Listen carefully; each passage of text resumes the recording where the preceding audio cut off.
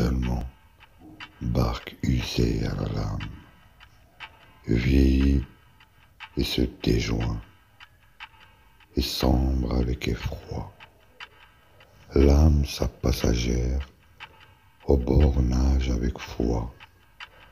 L'âme ne périt point, bien haut tout le proclame.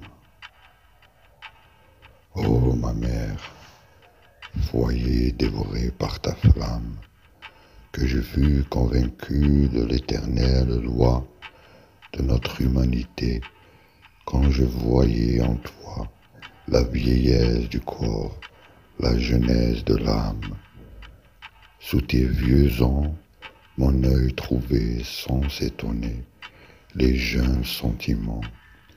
Je sentais bouillonner la sève de ton cœur sous ta chétive écorce.